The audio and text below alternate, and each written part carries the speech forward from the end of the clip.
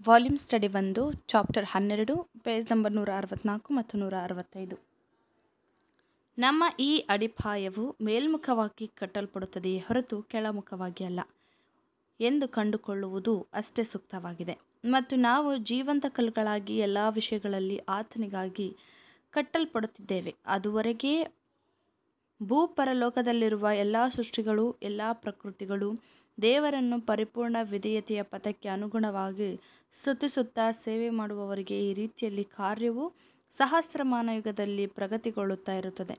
ವಿಶ್ವವು ಆಗ ಶುದ್ಧಿಯಾಗುತ್ತದೆ. ಯಾಕೆಂದರೆ ಆ ದಿನದಲ್ಲಿ ಆ ಪ್ರವಾದಿಯ ಮಾತನ್ನು ಕೇಳದಿರುವ ಪ್ರತಿಯೊಬ್ಬನೂ ನಮ್ಮ ಜನರೊಳಗಿಂದ ಸಂಪೂರ್ಣವಾಗಿ ನಾಶವಾಗುವನು. ಅಪೊಸ್ತಲರ ಕೃತ್ಯಗಳು ಮೂರನೇ ಅಧ್ಯಾಯ ಇಪ್ಪತ್ತೆರಡರಿಂದ ಇಪ್ಪತ್ತ್ಮೂರನೇ ವಚನ. ಇದು ಎರಡನೆಯ ಮರಣವು. ಅರಣ್ಯದಲ್ಲಿ ದೇವದರ್ಶನ ಗುಡಾರ.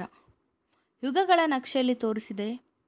ಅದೇ ಪಾಠವನ್ನು ಇಲ್ಲಿ ದೈವಿಕವಾಗಿ ಅಣಿಮಾಡಿದ ನಮೂನೆಯಲ್ಲಿ ತೋರಿಸಲಾಗಿದೆ. ಇದರ ಪಾಠಗಳನ್ನು ನಂತರದಲ್ಲಿ ಇನ್ನೂ ಹೆಚ್ಚು ಸಂಪೂರ್ಣವಾಗಿ ಪರಿಶೀಲಿಸಲಾಗುವುದು. ನಾವು ಅದನ್ನು ಒಂದರ ಪಕ್ಕದಲ್ಲಿ ಒಂದಾಗಿ ಇಡುತ್ತೇವೆ.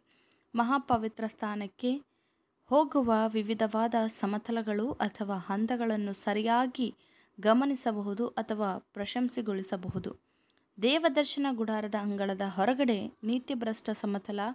ಖ ಮೇಲೆ ಪಾಪಭರಿತವಾದ ಸಮಗ್ರ ಲೋಕವನ್ನೇ ನೋಡಬಹುದು. ದ್ವಾರದ ಮೂಲಕ ಅಂಗಳಕ್ಕೆ ಪ್ರವೇಶಿಸಿದರೆ ನಾವು ಓ ಸಮತಲದಲ್ಲಿ ನಂಬಿಗಸ್ತರು ಅಥವಾ ನೀತಿ ನಿರ್ಣಯಗೊಂಡ ವ್ಯಕ್ತಿಗಳು ಆಗುತ್ತೇವೆ. ಪ್ರತಿಷ್ಠೆಯಲ್ಲಿ ಮುಂದುವರಿಯುವವರು ದೇವದರ್ಶನ ಗುಡಾರದ ಬಾಗಿಲನ್ನು ನೂಕಿಕೊಂಡು ಒಳಗೆ ಓ ಸಮತಲಕ್ಕೆ ಪ್ರವೇಶಿಸಿ ಯಾಜಕರಾಗುತ್ತಾರೆ.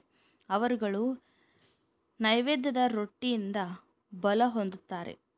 ದ್ವೀಪ ಸ್ತಂಭಗಳಿಂದ ಜ್ಞಾನೋದಯ ಪಡಕೊಳ್ಳುತ್ತಾರೆ ಮತ್ತು ಏಸು ಕ್ರಿಸ್ತನಿಂದ ದೇವರಿಗೆ ಮೆಚ್ಚುಗೆಯಾಗುವ ಸುಗಂಧ ದ್ರವ್ಯವು ಬಂಗಾರದ ಧೂಪ ವೇದಿಕೆಯಲ್ಲಿ ಅರ್ಪಿಸುವ ಶಕ್ತರಾಗ, ಶಕ್ತರಾಗುತ್ತಾರೆ. ಅಂತಿಮವಾಗಿ, ಮೊದಲನೆಯ ಪುನರುತ್ಥಾನದಲ್ಲಿ ಅವರುಗಳು ಪರಿಪೂರ್ಣವಾದ ಅಥವಾ ನೀತಿ ಪರಿಶ್, ಅತಿ ಪರಿಶುದ್ಧವಾದ ಸಮತಲ ಐ ಆತ್ಮಿಕ ಸ್ಥಿತಿಯನ್ನು ಪ್ರವೇಶಿಸುತ್ತಾರೆ. ಆಗ ಅವರುಗಳು ಕ್ರಿಸ್ತನೊಂದಿಗೆ ಏ ಸಮತಲದಲ್ಲಿ ದೇವರ ರಾಜ್ಯದ ಮಹಿಮೆಯಲ್ಲಿ ಅನ್ಯೋನ್ಯತೆಯನ್ನು ಹೊಂದಿಕೊಳ್ಳುತ್ತಾರೆ. ದೇವರಿ ವಾಕ್ಯವನ್ನು ಆಶೀರ್ವದಿಸಲಿ. ಆಮೇಲೆ